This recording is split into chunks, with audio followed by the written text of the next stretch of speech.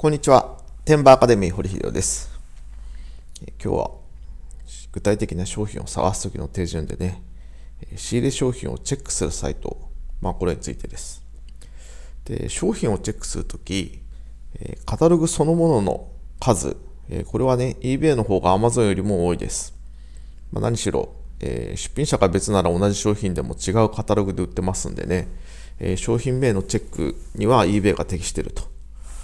商品名のチェックっていうのはこれ結局ね、商品名が検索する商品がわかんないという場合があるんで、まあ Amazon で出てこなくても eBay だと出てくると。eBay だと複数カタログ出てくればね、あ、名前がこっちなんだなと、これの名前だとどうかなって名前変えて、えー、Amazon で検索したら出てきたりするんで、eBay 調べて Amazon という手順に、してください。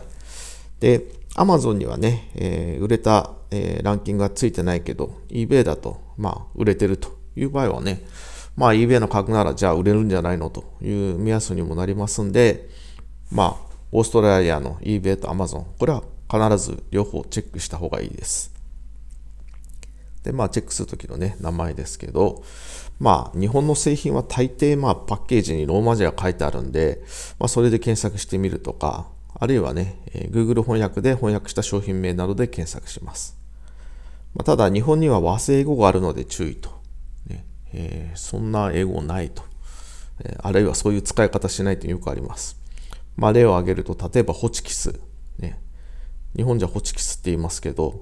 えー、アメリカでもオーストラリアでもホチキスって言っても全く通じないです。え、これはね、ステープラー。で、ホチキスっていうのは、まあ、戦後、日本でステープラーを販売した会社名。ね、で、今や廃れちゃってそんなにないから、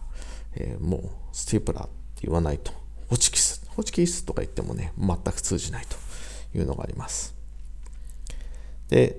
まあその、まあ本当にこれ売れてないのかなと、探し方悪いのかな、出てないのかなといった時には、まあカタログが多いアメリカもチェックしてみると。ね、一番やっぱカタログ数が多いのが ebay.com ですね。ネットショップで一番カタログ多いのは ebay.com です。何しろ、同じ商品が複数カタログがあってね、えー、利用者自体は、えー、eBay の方が多いです。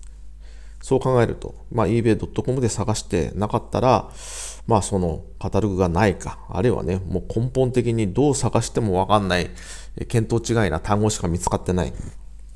まあその場合は、まあ、商品に縁がないと。いうことで、まあ、しゃあないねというのでいいと思います。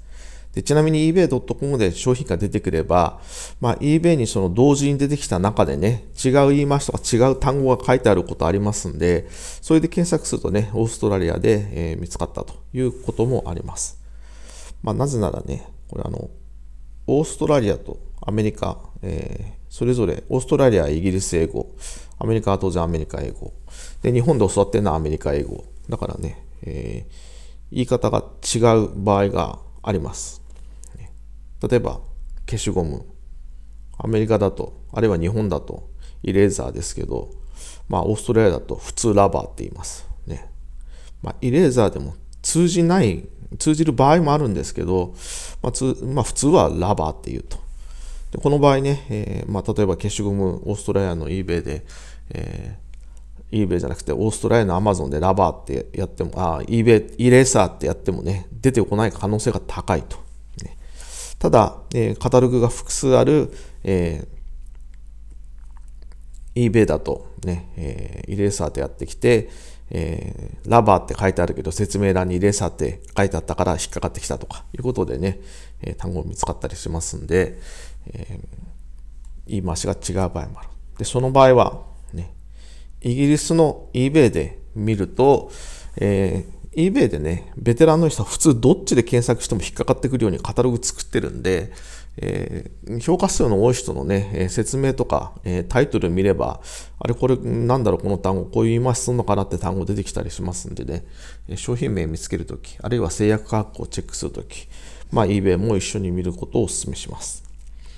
で、同じ商品チェックするのにね、こんな2つも3つも4つも5つもサイト見るのめんどくさいと思うんですけど、まあ、逆にね、こうまあ、めんどくさいんじゃなくて、この作業が楽しいと思えるような人は、まあ当然商品がガンガン見つかりますし、何か売れる商品があった時にガンガン広がりやすい。で、逆にね、えー、普通の商品はめんどくさいんだけど、この商品だったらこれ比べてて楽しいねと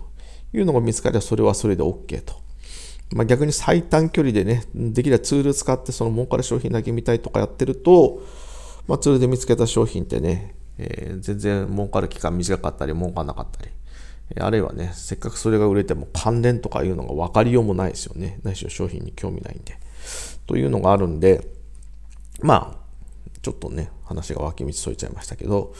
まあ、最低限、この ebay.com.au、ね、ebay.com、amazon.com.au は見ると。で、これを見るときに、えー、検索すべき単語が分かるような商品が、えー、望ましい。でもそんな商品めったにないんでね、えー、まあ、パッケージに書いてある、え、和製、和製語じゃね、ローマ字、あるいは Google 翻訳で翻訳した商品名なんかで検索すると。